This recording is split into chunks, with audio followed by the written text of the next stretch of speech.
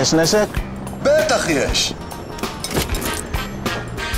לקנות את הטיל הזה אח שלו. מגניב, לא? אחינו, אולי תשתחרר כבר? עדיין לא השתחררת מהציוד הצבאי? החודש מחזירים את הציוד הצבאי בלי להזדהות ובלי לעמוד לדין.